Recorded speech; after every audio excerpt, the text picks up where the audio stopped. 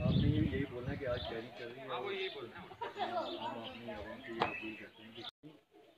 جیسا کہ آپ حضرات کو بخوبی معلوم ہے کہ ہر سال کی طرح امسال عرس شریف سادات جیلانیہ محلہ خانقاہ پرانی پنچھ میں بڑی عقیدت و احترام کے ساتھ منایا جاتا ہے۔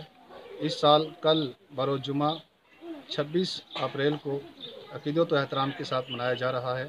لہٰذا میں تمام محبان اہل بیت سے اور محبان اولیاء کرام سے گزارش کروں گا کہ آپ کل دس بجے سے ہمارا یہ پروگرام شروع ہوگا اور کل نماز جمعہ ٹھیک دو بج کر بیس منٹ پہ ادا کی جائے گی۔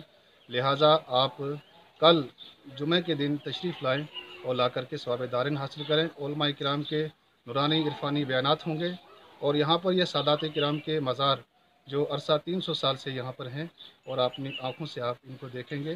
شکریہ السلام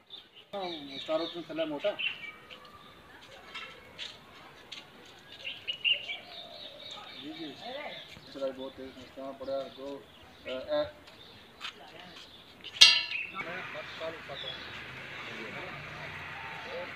دو مہینے کے بعد اچھی بات نہیں ہے یہ تو ہمیں بھی لگتا ہے یہ اچھی بات نہیں ایک یعنی ہاں آپ کیا آؤں گا میں آپ کو۔